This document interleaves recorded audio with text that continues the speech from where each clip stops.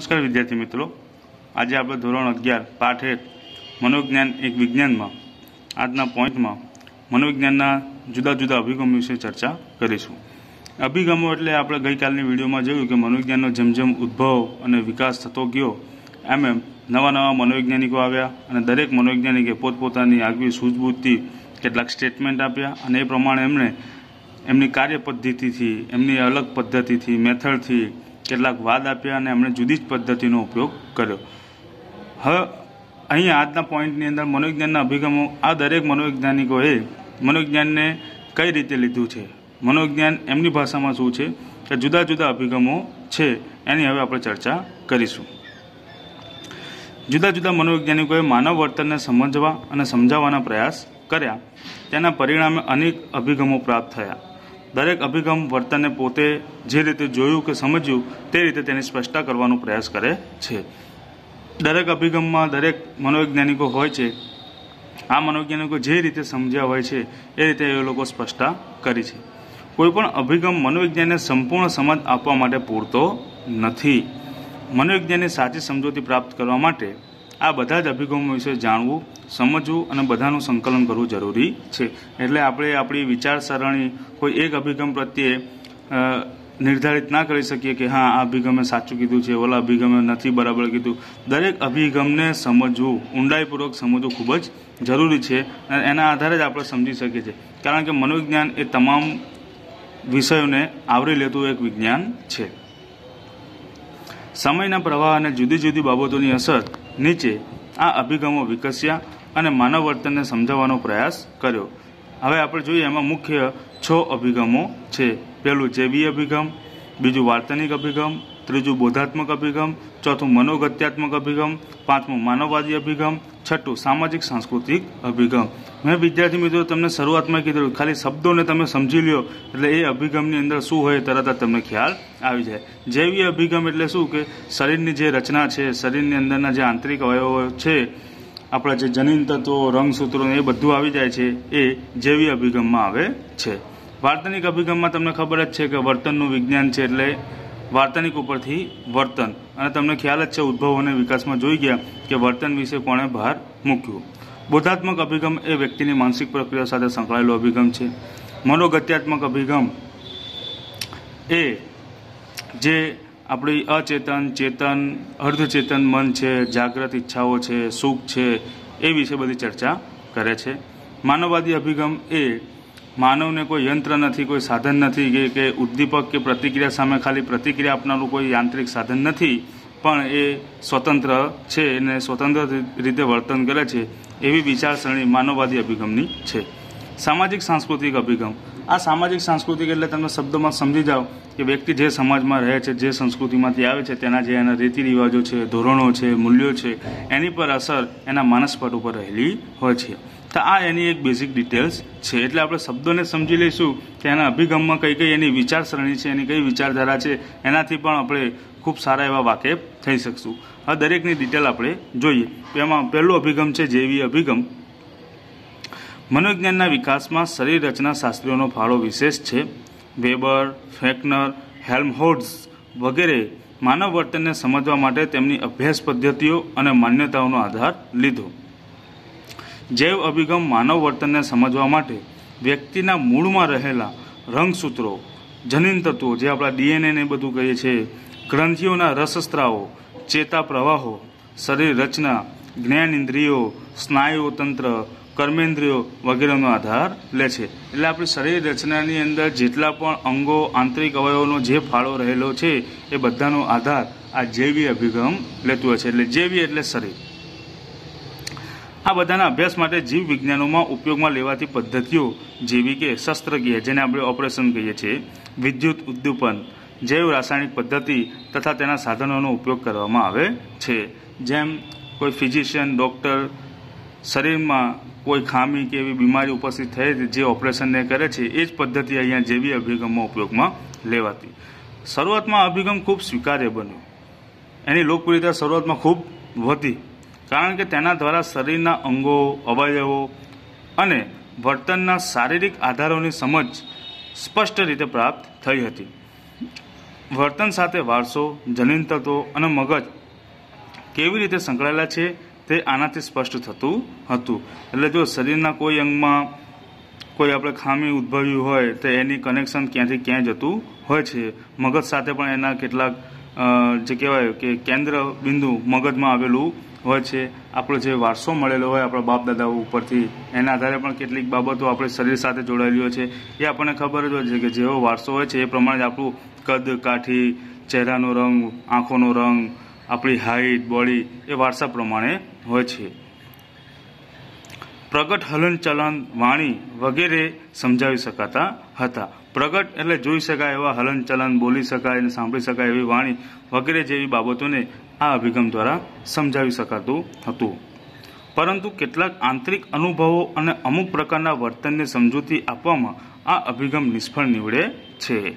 આ અભિગમ દ્વારા માનવ શરીરની જટિલતાના કારણે શરીર અને મગજની સંપૂર્ણ સમજ પ્રાપ્ત ન થતી હોવાથી માનવીના દરેક વર્તન અને મનોવ્યાપારને સમજાવી શક્યો નહીં.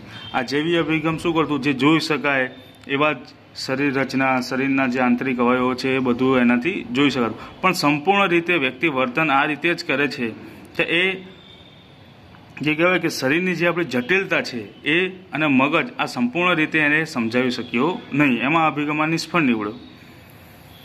એ જ પ્રમાણે માનવીનું વર્તન જૂથ ક્રિયાઓ, સામાજિક, સાંસ્કૃતિક વાતાવરણ ઉપર પણ આધાર રાખે છે. જ્યાં જૈવીય ક્રિયાઓને સ્થાન નથી. જ્યારે આપણે ગ્રુપ વર્ક કરતા હોઈએ છીએ, ત્યારે કંઈ જૈવીય ક્રિયાઓ થતી નથી. જ્યારે કોઈ સામાજિક, સાંસ્કૃતિક વાતાવરણ હોય છે, જે સમાજમાંથી આવતા હોય છે, અને સમાજના કારણે જે આપણું વર્તન હોય છે, એમાં જૈવીય ક્રિયાઓને સ્થાન હોતું નથી. આમ જૈવીય અભિગમની આ પોતાની આગવી કેટલીક મર્યાદાઓ છે. હવે આપણે બીજું અભિગમ વિશે ચર્ચા કરીએ. બીજું અભિગમ છે વાર્તનિક અભિગમ. વાર્તનિક અભિગમ એટલે શરૂઆતમાં આપણે એની સમજ મેળવેલી છે કે જે વર્તનનું વિજ્ઞાન છે અને ઉદ્ભવ અને વિકાસમાં જોઈ ગયા હતા કે જ્હોન બી વોટસન નામના મનોવૈજ્ઞાનિકે મનોવિજ્ઞાન એ વર્તનનું વિજ્ઞાન છે એમ કીધું હતું. અહીંયા આપણે એક ચિત્ર દેખાય છે એ જે બી વોટસનનું છે. વીસમી સદીમાં થયેલી ઔદ્યોગિક ક્રાંતિ અને યંત્ર વિદ્યાની બોલબાલાથી પ્રભાવિત થયેલા વોટસને મનોવિજ્ઞાનને માત્ર વર્તનના વિજ્ઞાન તરીકે ઓળખાવ્યું અને વાર્તનિક અભિગમ આપ્યો.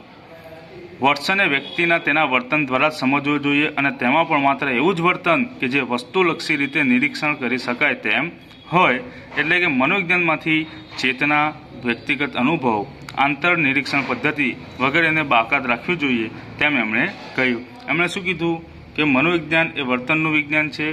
અને એ વર્તન જે જોઈ શકાય એવું હોય, એનું નિરીક્ષણ કરી શકાય હોય, એને માપી શકાય એમ હોય, એ પ્રમાણેનું વર્તનનું અભ્યાસ કરનારું આ વિજ્ઞાન છે, આ મનોવિજ્ઞાન છે. એટલે એમણે શું કીધું કે જે ચેતના શરીરની અંદરની જે હોય છે, વ્યક્તિગત અનુભવો કે વ્યક્તિ જે પોતે રીતે વર્ણવે છે એ અનુભવો અને આંતરનિરીક્ષણ પદ્ધતિ જે આપણે ઉદ્ભવ અને વિકાસમાં જોઈ ગયા કે વૂંટ અને તેના સાથીદારોએ કીધું, મન ઉપર ભાર મૂકીને જે આંતરનિરીક્ષણ પદ્ધતિનો ઉપયોગ કર્યો હતો આ બધી જ પદ્ધતિઓનો એમણે વિરોધ કર્યો અને એમણે એમ કીધું કે મનોવિજ્ઞાનમાં આ બધી વસ્તુઓ હોવી જોઈએ નહીં. એટલે એમણે એક જ સ્પષ્ટ વાત કહી દીધી છે કે માનવી એ જે કાંઈ વર્તન કરે છે ને વર્તન માપી શકાય એવું હોય, નિરીક્ષણ કરી શકાય એવું હોવું જોઈએ. વોટસનનો વર્તનવાદી અભિગમ વર્તનને ઉદ્દીપક પ્રત્યે કરવામાં આવતી પ્રતિક્રિયા તરીકે ઓળખાવે છે. આથી તેને ઉદ્દીપક પ્રતિક્રિયા અભિગમ તરીકે પણ ઓળખવામાં આવે છે. વાર્તનિક અભિગમને બીજા શબ્દોમાં કહીએ તો ઉદ્દીપક પ્રતિક્રિયા અભિગમ. એટલે વોટસનનું શું માનવું છે? કે ઉદ્દીપક એટલે કોઈ વસ્તુ, પદાર્થ કે વ્યક્તિ જે આપણી ઉપર અસર પહોંચાડે છે, એને આપણે ઉદ્દીપક કહીએ છીએ. ને એ અસરનું, એ એક્શનનું જે આપણે રિએક્શન આપીએ છીએ, એને આપણે પ્રતિક્રિયા કહીએ છીએ. કાલે પણ આપણે ઉદાહરણ જોયા હતા કે કોઈ આપણી સામે આંખો સમક્ષ ટોર્ચ મારે છે, તો આપણે આંખો તરત જ બંધ કરી દેતા હોઈએ છીએ. એટલે ટોર્ચ એ ઉદ્દીપક કહેવાય, આંખો બંધ કરવી એ પ્રતિક્રિયા કહેવાય. આ રીતે વોટસનનું માનવું છે. વોટસનનો આ અભિગમ વ્યક્તિના બાહ્ય પ્રગટ વર્તનને જ કેન્દ્રમાં રાખી અભ્યાસ કરે છે અને માત્ર જોઈ શકાય તેવા પ્રગટ વર્તનો, જેવા કે વાણી, મુખભાવ, ચેષ્ટાઓ, શારીરિક હલનચલનને જ વર્તન ગણે છે. અહીંયા પણ વોટસન ખાસ દિશા નિર્દેશ કરે છે કે વ્યક્તિના એવા જ વર્તનો, કેવા કે ફક્ત જોઈ શકાય એવા હોય, માપી શકાય એવા હોય, ચકાસી શકાય એવા હોય કે નિરીક્ષણ કરી શકાય એવા. ફોર એક્ઝામ્પલ, અહીંયા વાણી ચહેરાના હાવભાવ, મુખભાવ, ચેષ્ટાઓ, શારીરિક હલનચલનો, આપણા અંગ વિન્યાસ જે છે, જુદા જુદા અંગોનો ઉપયોગ કરવામાં આવે છે વર્તનની અંદર. એ બધાનું, એ બધાને એ વર્તન ગણે છે. આ અભિગમને વાર્તનિક અભિગમ તરીકે ઓળખવામાં આવે છે. કારણ કે આ વાર્તનિક, વર્તનને ધ્યાનમાં રાખીને, લક્ષ્યમાં રાખીને એનો અભ્યાસ કરતું અભ્યાસ કરે છે આ અભિગમ એટલે એને વાર્તનિક અભિગમ કહેવામાં આવે છે. વાર્તનિક અભિગમના વિકાસમાં ફાળો આપનાર મનોવૈજ્ઞાનિકોમાં વોટસન ઉપરાંત સ્કિનર, ગ્રથી, ટોલમેન વગેરેનો ફાળો મુખ્ય છે. વાર્તાનિક અભિગમ જે બી વોટસને આપ્યો, પણ તદુપરાંત આ અભિગમની અંદર મહત્વનું પ્રદાન કરનારા બીજા મનોવૈજ્ઞાનિકોમાં સ્કિનર પણ છે, ગ્રથી અને ટોલમેન જેવા મનોવૈજ્ઞાનિકોનો પણ મુખ્ય ફાળો છે. ત્રીજો અભિગમ આપણે જોઈએ, બોધાત્મક અભિગમ. હવે આપણને ખબર પડી જોઈએ કે બોધ, બોધન એટલે જાણવાની પ્રક્રિયા. શરૂઆતમાં આપણે જોઈ ગયા. અને જાણવાની પ્રક્રિયા એટલે દરેક એવી પ્રક્રિયાઓ કે જે માનસિક હોય. એટલે બોધાત્મક અભિગમને સમજવાનું હોય તો તમારે સમજી લેવાનું કે આમાં માનસિક પ્રક્રિયાઓનું સ્થાન છે. અને માનસિક પ્રક્રિયાની અંદર આપણે જોઈએ તો આપણે કેવી રીતે યાદ રાખી શકીએ છીએ. યાદ રાખીએ છીએ માહિતીને આપણે ઇન્વોલ્વ કરતા હોય છે, અંદર લેતા હોય છે એમાં સુધારા વધારા કરતા હોય છે, એના ઉપર કલ્પના કરતા હોય છે, વિચારણા કરતા હોય છે, ચિંતન કરતા હોઈએ છીએ. કોઈ સમસ્યા હોય તો એનો ઉકેલ લાવતા હોય છે, નિર્ણય લેતા હોય છે, આ બધી જ બાબતો જે છે એ બધી જ માનસિક બાબતો છે. હવે બોધાત્મક અભિગમ વિશે જોઈએ. વાર્તાનિક અભિગમની માનવીના વર્તનની વધારે પડતી યાંત્રિક સમજૂતી સામે જ્ઞાનાત્મક કે બોધાત્મક અભિગમ વિકસ્યો. આ વર્તનવાદી જે વાર્તાનિક અભિગમ હતું એના વિરોધમાં આ બોધાત્મક અભિગમ વિકાસ પામ્યો. કેમ? અહીંયા આગળ એની સમજૂતી આપેલી છે. બોધાત્મક અભિગમે વાર્તાનિક અભિગમ દ્વારા અપાતી માનવ વર્તનની વધારે પડતી સરળ સમજૂતીનો વિરોધ કર્યો અને કહ્યું કે માનવ યંત્ર એવું નથી કે જે ઉદ્દીપ, ઉદ્દીપકો પ્રત્યે સીધી પ્રતિક્રિયા આપે અથવા આદેશો મુજબ જ ક્રિયા કરે. આ લોકોનું મેઇન કારણ શું છે વિરોધ કરવાનું? કે વાર્તનિક અભિગમે જે કીધું કે ઉદ્દીપક વ્યક્તિ ઉપર અસર પહોંચાડે છે અને એ અસરને, એ પાછું રિએક્શન આપે છે એટલે પ્રતિક્રિયા આપે છે. બોધાત્મક અભિગમે કીધું કે માનવી ખાલી અસર પહોંચે ને રિએક્શન આપે એક્શનનું રિએક્શન આપે એવું કંઈ ખાલી એવું યંત્ર નથી. પણ એનાથી વિશેષ છે. જો આગળ આવશે. વર્તનવાદીઓના મતે માનવી ટેલિફોન જેવું યંત્ર છે, જેમાં ઉદ્દીપક અને પ્રતિક્રિયા એ બે છેડા જ દેખાય છે. આ વર્તનવાદી અભિગમનું આ માનવું છે કે વ્યક્તિ કેવું છે, ટેલિફોન જેવું છે. એના બે જ છેડા છે. એક બાજુથી ઉદ્દીપક રજૂ થાય, તો સામે બીજા પક્ષે કોઈ પ્રતિક્રિયા આવે છે.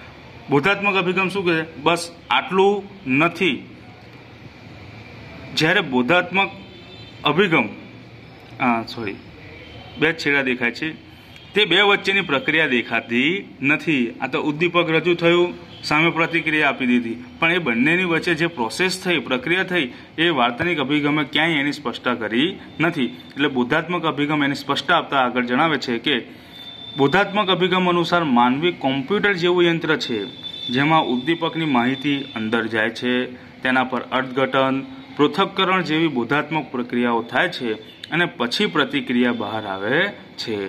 એટલે જેમ કોમ્પ્યુટરની અંદર આપણે જ્યારે ડેટા માહિતીને નાખીએ છીએ, એની ઉપર પ્રોસેસિંગ કરીએ છીએ, એનું એનાલાઇઝેશન કરીએ છીએ, અર્થઘટન કરીએ છીએ, પૃથક્કરણ કરીએ છીએ, અને જરૂર પડે જ્યારે એને બહાર લાવીએ છીએ, એવી જ રીતે માનવ છે. માનવી પણ આ જ રીતે માહિતીને એના મગજમાં પ્રાપ્ત કરે છે. ત્યાર પછી એની ઉપર કેટલીક પ્રોસેસ કરતો હોય છે, પ્રક્રિયા કરતો હોય છે, એની અંદર સુધારા વધારા કરતા હોય છે. જો વિદ્યાર્થી મિત્રો, એક એક સામાન્ય એક્ઝામ્પલ એવું છે કે સૌ પ્રથમ આપણે જ્યારે શીખવાની શરૂઆત કરી હતી, કોઈ પણ ભાષાની વાત કરીએ, તો આપણે જે કંઈ બાબત શીખ્યા, ફરી બે વર્ષ પછી, ત્રણ વર્ષ પછી જ્યારે કોલેજ કક્ષાએ, શાળા કક્ષાએ કે ઉચ્ચતર શાળાએ કક્ષાએ આપણને એ માહિતી નવીન મળે છે, તો જૂની માહિતીને આપણે ડિલેટ નથી કરતા. પણ એની સાથે સુધારા વધારા કરી અને નવી માહિતીને સ્ટોર કરી લેતા હોઈએ છીએ. એટલે બોધાત્મક અભિગમનું આ જ માનવું છે કે માનવી ફક્ત યાંત્રિક નથી, પણ એ કેવું છે, કોમ્પ્યુટર જેવું છે, માહિતીને અંદર લે છે, એની ઉપર પ્રોસેસ કરે છે, અર્થઘટન કરે છે, પૃથક્કરણ કરે છે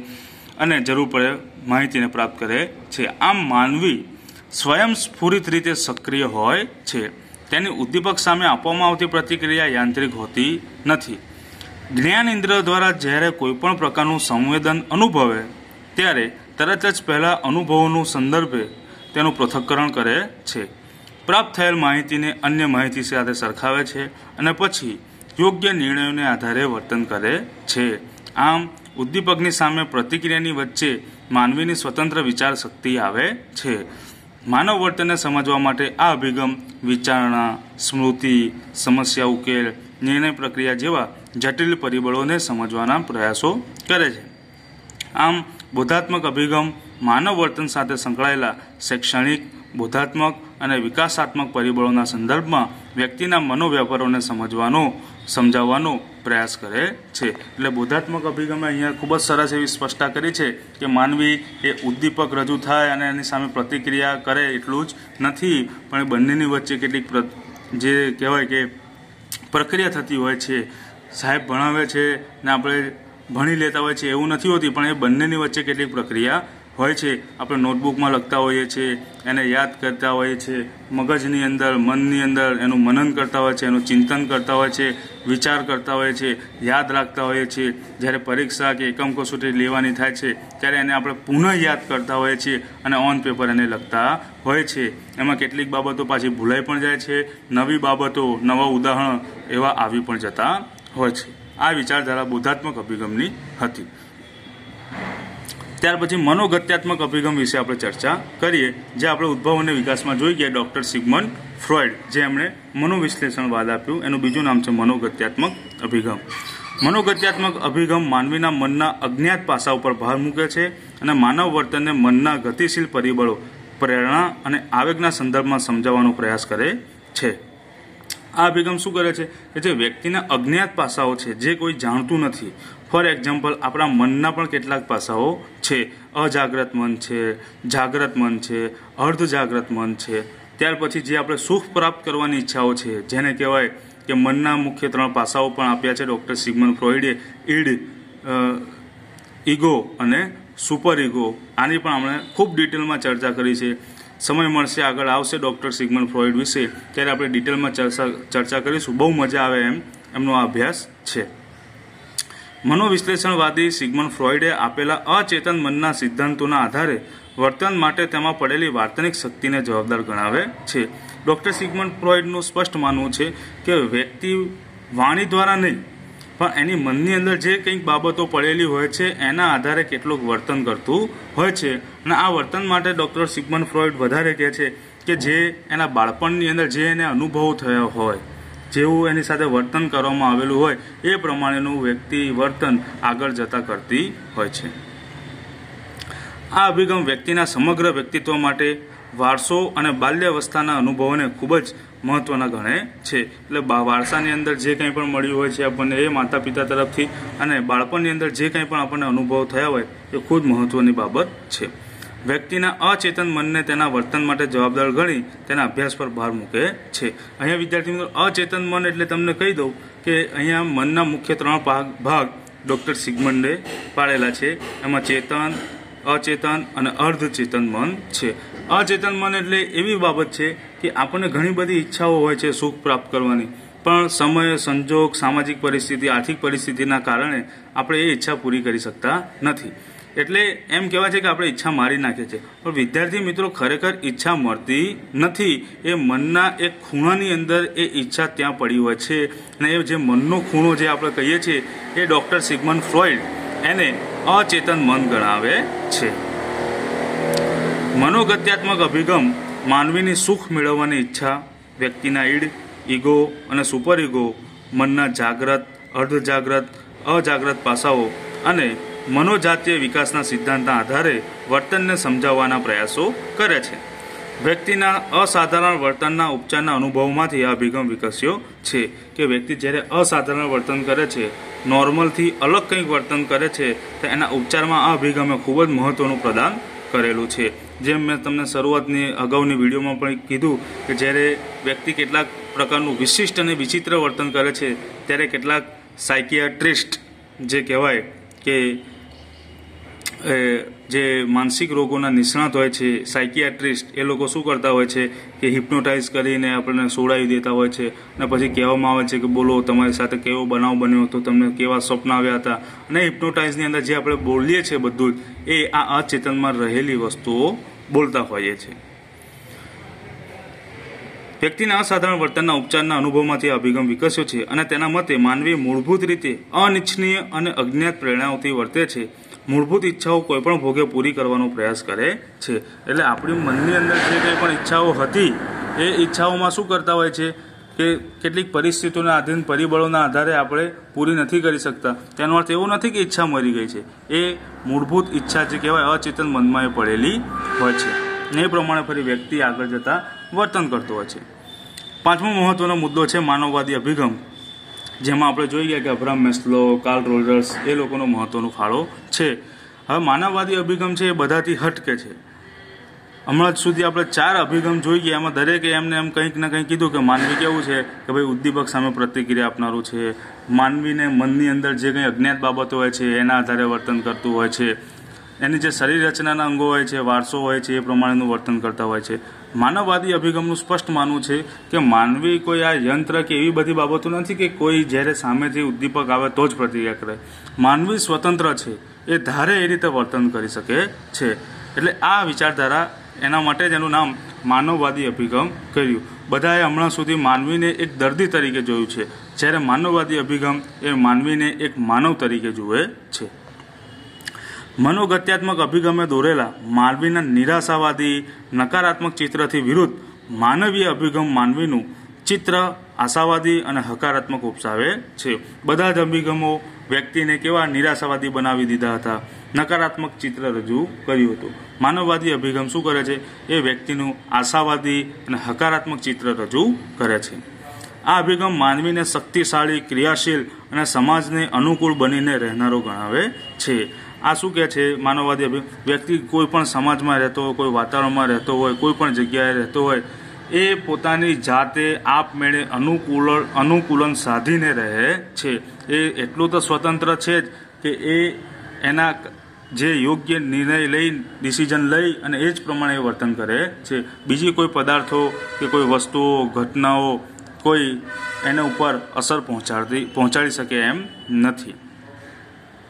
આ અભિગમના પ્રણેતાઓમાં Abraham Maslow, Carl Rogers, Erich Fromm આ ત્રણ મનોવૈજ્ઞાનિકોનો સમાવેશ થાય છે. તેઓના મતે માનવીએ ભૂતકાળના અને વર્તમાનના અનુભવોનું પોટલું નથી. આ શું કહે છે? કે ભાઈ, ભૂતકાળમાં જે કંઈ પણ બાબતો બની ગઈ, એના કારણે માનવી હમણાં વર્તન કરે છે કે વર્તમાનમાં આ રીતની એની સાથે ઘટના ઘટી છે એટલે એ ભવિષ્યમાં આ રીતનું વર્તન કરશે. એ કંઈ કંઈ વર્તમાન કાળ અને ભૂતકાળનું કંઈ પોટલું નથી. પણ આ અભિગમ માનવીને સ્વતંત્ર ઈચ્છાશક્તિ ધરાવનાર, સ્વવિકાસની ઈચ્છા રાખનાર વિધાયક દ્રષ્ટિબિંદુવાળો દર્શાવે છે અને જણાવે છે કે માનવી પોતાના વર્તનને નક્કી કરવા માટે સંપૂર્ણ સ્વતંત્ર છે. વ્યક્તિને કેવા પ્રકારનું વર્તન કરવું, ક્યાં અને કેવા પ્રકારનું વર્તન કરવું, કેવી પરિસ્થિતિમાં કેવી રીતે વર્તન કરવું, કેવું રહેવું, એ બધું જ વ્યક્તિ પોતે જાણે છે અને એના માટે સ્વતંત્ર છે. વિશ્વને જોવાનું વ્યક્તિનું દ્રષ્ટિબિંદુ તેના વર્તનને ઘડે છે. વ્યક્તિનું જે દ્રષ્ટિબિંદુ છે એ જ એના વર્તનને ઘડે છે. આમ આ અભિગમ માનવીમાં રહેલા ઉજળા પાસાઓ પર અને સારી બાજાઓ, બાજુઓ પર ભાર મૂકતો હોવાથી માનવવાદી અભિગમ તરીકે ઓળખાય છે. એટલે જ એને માનવવાદી અભિગમ કેમ કીધું? કે માનવીની અંદર જે સારી બાબતો છે, હકારાત્મક બાબતો છે, જે વિધાયક પાસાઓ છે, જે પોઝિટિવ વસ્તુઓ છે, એની ઉપર એણે ભાર મૂક્યો છે ને એના જ માટે એને માનવવાદી અભિગમ તરીકે ઓળખવામાં આવે છે. છઠ્ઠું અભિગમ જોઈએ સામાજિક સાંસ્કૃતિક અભિગમ. અત્યાર સુધીના અભિગમોમાં કાં તો વાતાવરણ અથવા અચેતન ઈચ્છાઓ કે માનવીને વર્તન માટે જવાબદાર ઠેરવવામાં આવ્યા, પણ માનવીના વિકાસમાં મહત્ત્વના પરિબળો સમાજ અને સંસ્કૃતિની અવગણના કરવામાં આવી. કોઈપણ અભિગમે વ્યક્તિના સમાજ જે સમાજમાંથી આવતો હોય છે, જે સંસ્કૃતિમાંથી આવતો હોય છે, એની કોઈએ પણ ચર્ચા કરી નહીં. હાલાકી આ બે વસ્તુઓ સમાજ અને સંસ્કૃતિ એ વ્યક્તિ, વ્યક્તિના વ્યક્તિત્વ વિકાસમાં ખૂબ જ મહત્વનો ફાળો આપનાર બે આ પરિબળો છે. તેના તરફ ધ્યાન આપવામાં ન આવ્યું. સામાજિક સાંસ્કૃતિક અભિગમ માનવીના વર્તન માટે આજુબાજુના સામાજિક સાંસ્કૃતિક પરિબળોને મહત્વના ગણાવે છે. આ અભિગમ મુજબ માનવીના સારા કે ખરાબ વર્તન માટે તેનું વાતાવરણ જવાબદાર હોય છે. આ વાતાવરણ કેવું છે કે વ્યક્તિ જે કોઈ પણ સમાજમાંથી આવતો હોય છે, જે કોઈ સંસ્કૃતિમાંથી આવતો હોય છે, એ સમાજના એના રીત, રિવાજો, મૂલ્યો, ધોરણો એના આધારે વ્યક્તિ એ પ્રમાણેનું વર્તન કરતું હોય છે. જેની જેવી સંસ્કૃતિ એ પ્રમાણે એની પ્રકૃતિ હોય છે. વ્યક્તિના વર્તન માટે તેના સામાજિક, સાંસ્કૃતિક મૂલ્યો, ધોરણો, દરજ્જો, ભૂમિકાઓ જવાબદાર હોય છે. એટલે સામાજિક, સાંસ્કૃતિક અભિગમે વ્યક્તિ જે કોઈ પણ સમાજ જે સામાજિક વાતાવરણ છે, સાંસ્કૃતિક વાતાવરણ છે, જે સંસ્કૃતિમાંથી આવતું હોય છે, એ સમાજ અને સંસ્કૃતિના જે એમના રીત રિવાજો છે, એમના જે દરજ્જાઓ છે, એમની ભૂમિકાઓ છે, જે હોદ્દાઓ છે, જે સમાજ છે, સમાજની જે પરંપરાઓ છે, કેટલીક કસ્ટમ્સ જે છે, રીત રિવાજ છે, એના આધારે વ્યક્તિ વર્તન કરતું હોય છે. આ સામાજિક સાંસ્કૃતિક અભિગમનું એવું માનવું છે. તો વિદ્યાર્થી મિત્રો, આપણે અહીંયા મનોવિજ્ઞાનના અભિગમો, જુદા જુદા છ અભિગમો જોયા. એમણે તમારે હવે હું જે પ્રશ્ન કહું છું, એ પ્રશ્ન પ્રમાણે તમારે એના જવાબ લખી અને મને પર્સનલી વોટ્સઅપ કરવાના છે. મનોવિજ્ઞાનના અભિગમો જણાવી, દરેકની ટૂંકી સંક્ષિપ્તમાં સમજ કે સમજૂતી આપો. હવે વિદ્યાર્થી મિત્રો, અહીંયા ત્યારે તમારે સમજ આપવાની છે, ત્યારે એવું નથી જરૂરી કે દરેકે દરેક ટેક્સ્ટબુકના દરેક શબ્દો એમાં આવવા જોઈએ. જે એના મૂળ ભાગ મૂળ જે લાઈનો છે, એની જે વિચારસરણી છે, એ આવી જવી જોઈએ. અને આપણે જે સમજ્યા છે, એ રીતે તમે તમારું આન્સર લખી અને મને બતાવી શકો છો. ત્યાં સુધી સ્ટે હોમ સ્ટે સેફ જય હિન્દ.